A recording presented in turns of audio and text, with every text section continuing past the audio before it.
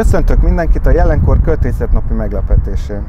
A következő fél órában a kiadó tavaly és idén megjelent verses köteteiből hallhattok verseket a szerzők, jelenkoros költőtársak és a kiadó munkatársai tolmácsolásában.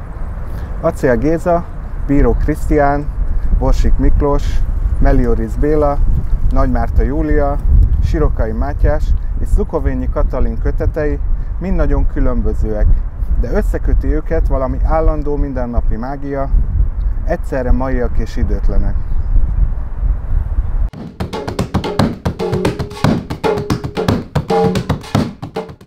Szlukovényi Katalin most.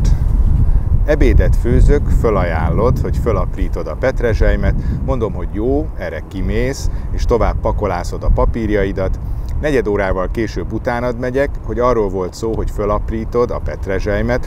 Mondod, hogy jó, visszamegyek a cigánypecsenyéhez, amíg sül befejezem a mosogatást, úgy 10 perc múlva jössz fölaprítani a petrezselymet, mondom kösz, már nem kell, akkor kellett volna, amikor megbeszéltük, a főzésnek ideje van, ritmusa, szerinted meg az a gond, hogy nem mondtam, hogy most kell, mondom, akkor ezt most tisztázzuk végleg, mindig úgy értem, hogy most, a nők mindig is úgy értették, az anyám is ezért vált el az apámtól, mert nem győzte kivárni, amíg elmosogat vagy megfürdet engem.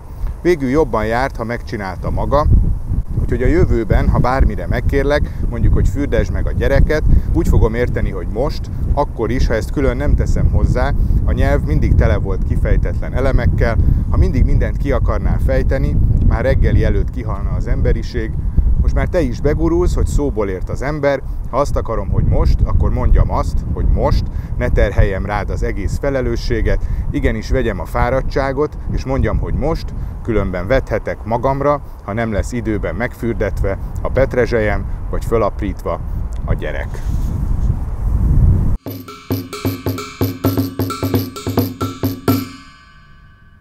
A békebeli mesekönyv illusztrációk természete.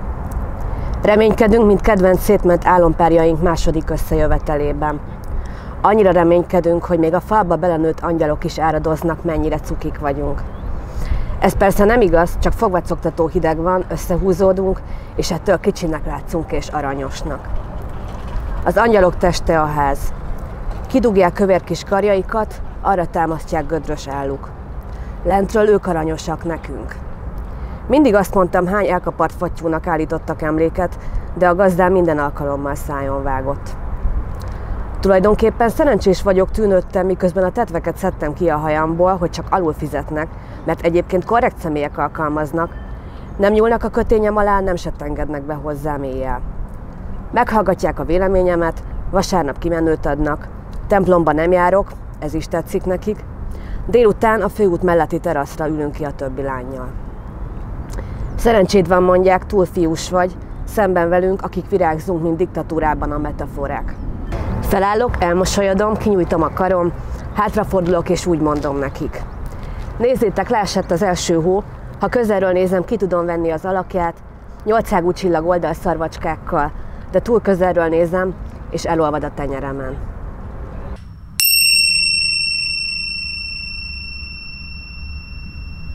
Átok naptár december. Jól érzi magát a bőrében a ránc, ahogy uralkodik az arcon. Vetélkedik a kivilágított pogácsák varázdáival. A kalácsok előtt toporogsz, kilépve a busz meleg szélből, a lábszárad fonta be. Hallgasd végig a kezedben csörgő aprót. A csarnok zajait utánozzák az emberek, de többnyire túl lassúak. Túl nehezek. Ott a fal mellett viszont megtalálod a legkönnyebbiket, ahol nappali álmában léddé változik egy hajléktalan.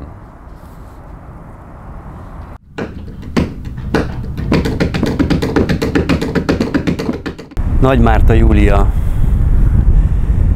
12 kép egy múzeum padlásáról.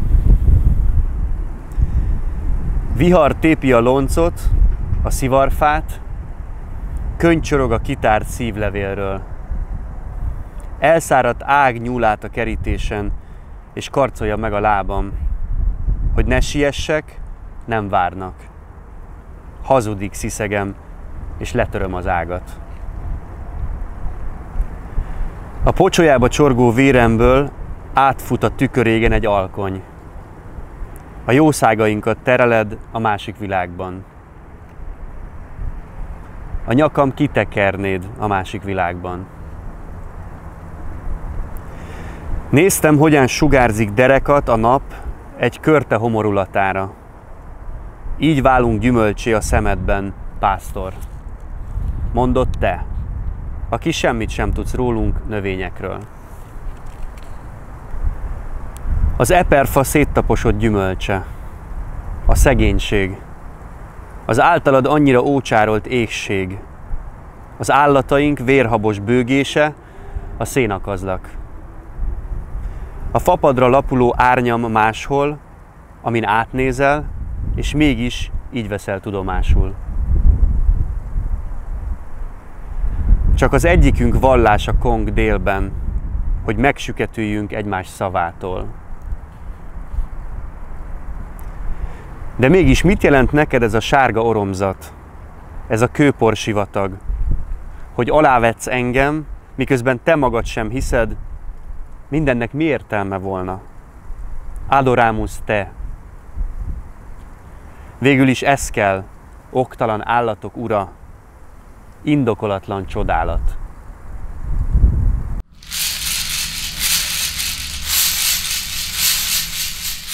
Robotpilóta Ivett, a válságmenedzser a megszólalásig hasonlít rám. Sokan össze is tévesztenek minket, és valahol épp ez a cél. Amikor minden sok, magamnak is sok vagyok, este felé csomókban tépem ki a hajam a feszültségtől, kimerültségemben nem bírok aludni, mert már megint túl alkalmazkodom, és az egyfenékkel megült lipicai ménes tucat felé szalad, olyankor jön Ivett, és kezébe veszi az irányítást józanul felméri a helyzetet, az emberi hülyeséget és az állandósult káoszt rezzenéstelen arccal tűri. Intézkedik, a teendőkkel egyenletes, jó tempóban halad, szigorúan a prioritási lista szerint, de a maximalizmus kényszere nélkül reálisan ítéli meg, mit muszáj, és akkor sem vállal többet, ha lehetne. Nincs benne vágy, és nincs ambíció. Rendre megvalósítja a kitűzött célokat. Nem érez, nem érintett semmiben. A lényegtelen ügyeket helyesen ismeri fel, és telibe pont leszarja, mert nem tart igényt senki figyelmére az üzembiztos működéshez szükséges dolgokon túl. Ivett csak velem kedves. Esténként citronfűteát főz nekem, és reggel biztat, hogy nyugodtan bújjak vissza az ágyba, egyek gyümölcsöt, nézek a tévében krimit, békés műizgalmakat, tegyek hosszú sétát ki a fejemből, addig majd ő helyettem szépen mindent megold.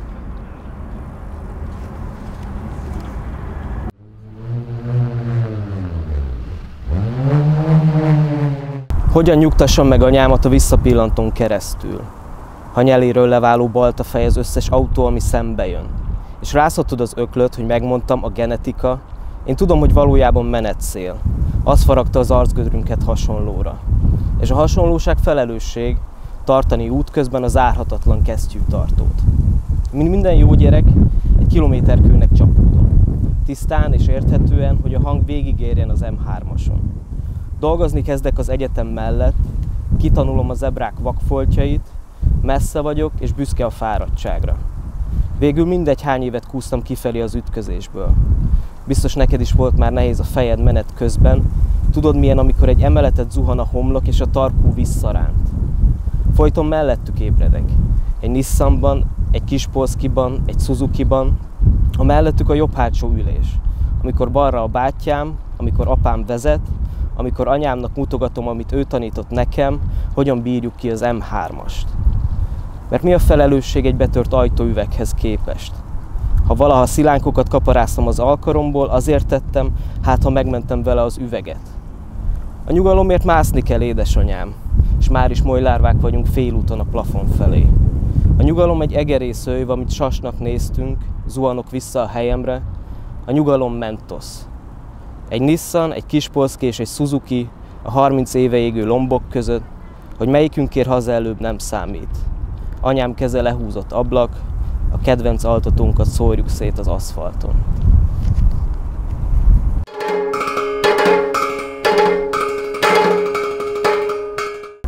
Szeliden futsz, mint a biciklinyom az Eper sárban, amit a járókelők vékony, fekete rétegét tapostak össze, hogy a metróig vigyék a gyümölcs színét.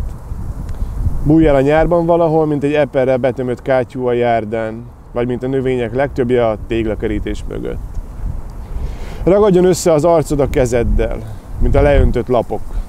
A napot ne lásd, de félj, hogy szakad a bőr, ha lefejtenéd az ujjad. Vágyakozz téli teraszra, amit eláraszt a lekvár, hólapátok a dzsemtakaróból, makacs tömböket szabdalnak, tetőket mos a barack, az erkély porát söpri a szilva, ha vihart, vihar követ. Betapaszt a nyár a sarokba, biztos keret.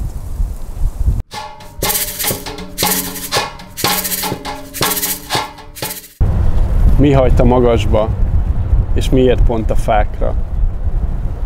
Mi a közös bennünk, elérhetek-e odáig? Mi vár rám az ágak között, és miért érzem a lombokat menedéknek? Mi elől mászom, és mi felé? Lennék-e fa? Elhagynám-e érte a testemet? Állnék-e egy helyben egy lassú életen át? Lennék-e mindenkié? Lehetek-e még így, két lábon, valaki fája?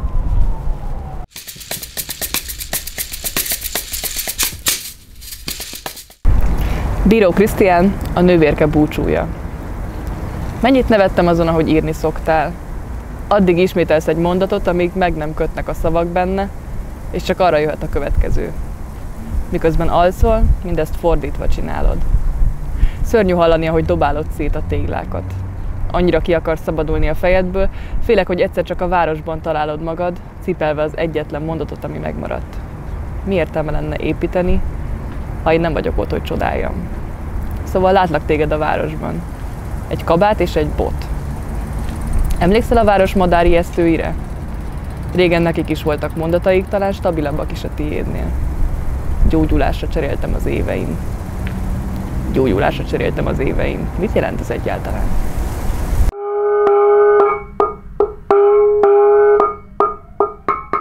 Melioric Béla ismételgette. A nagyra becsült és köztiszteletben álló Ozora tanár úrról az a legenda járta, hogy egy napsugaras koraőszi reggelen, még a háború előtt épített bicikliével, melynek lopás elleni védelmét a kor műszaki színvonalát meghaladó módon rendkívül szellemesen, az egy mozdulattal oldható és kiemelhető kormányjal oldotta meg, nyilván az iskolába karikázva, a Baros hídról a Városháza felé nagy kanyarodva, máig tisztázatlan körülmények között elesett, és kedvesen elhárítva a segítségére sietők jó akaratát, a táskájából előkerült logarléccel azonnal számításokat végezve, a bámészkodók gyűrűjében méltatlankodva ismételgette. Sebesség jó, dőlészög jó, miért testem el?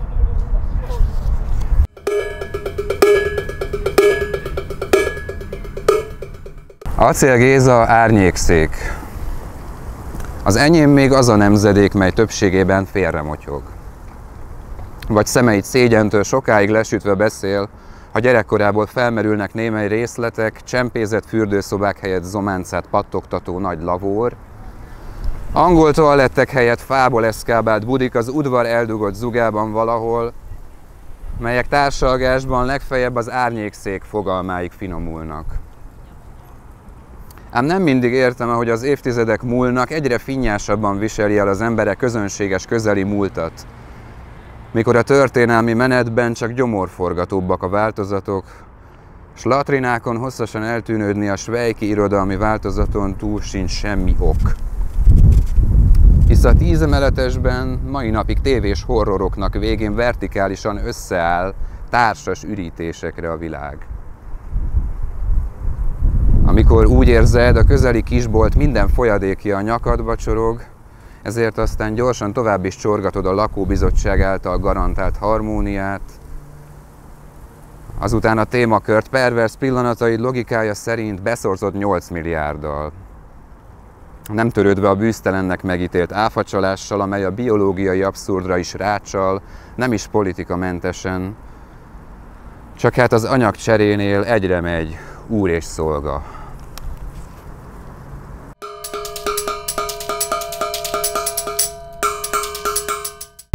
Sirokai Mátyás, lomboldal.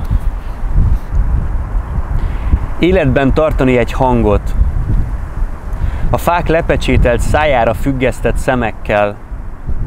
Életben tartani a szoba mély csendben, gerinc melletti izmait helyett könyvek gerincét simítva, egy hangot, ami csak a fejemben szól, de valóságosabb a szájnál, ami a fülemre tapad, enni kér, életben tartani, ami előbb kezdett beszélni, mint én magam, ami velem van, még álmomban is, egy hangot, ami megnevez, elhatárol, mégis az egyetlen, amin meg tudok szólalni, életben tartani azt, ami a saját ellenségemmé tesz, de nélküle csak a véráram zúgása marad, két madár búcsú röptének íve a hajnali égen, egy levél útja a lombketrecből a talajig és a földbe, életben tartani, miért is akarom.